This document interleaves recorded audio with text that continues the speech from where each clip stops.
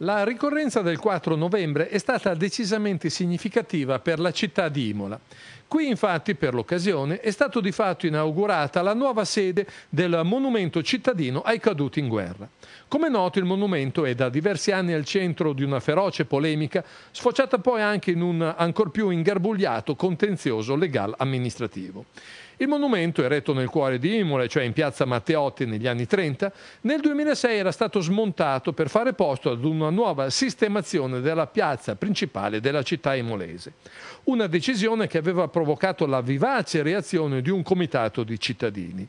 I successivi ricorsi al TARE e al Consiglio di Stato, con l'incrociarsi di sentenze ora in un senso, ora nell'altro, aveva poi provocato il blocco per diverso tempo dei lavori della piazza, mentre il monumento giaceva smontato montato in un magazzino comunale dove, in attesa di tempi migliori, è stato sottoposto ad un lungo, delicato e complesso lavoro di restauro.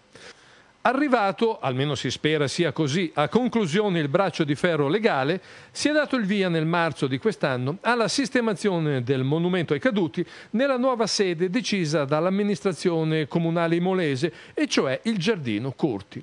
Completata con la giornata di oggi questa fase, sarà poi la volta nell'immediato futuro della riqualificazione di tutta l'area verde.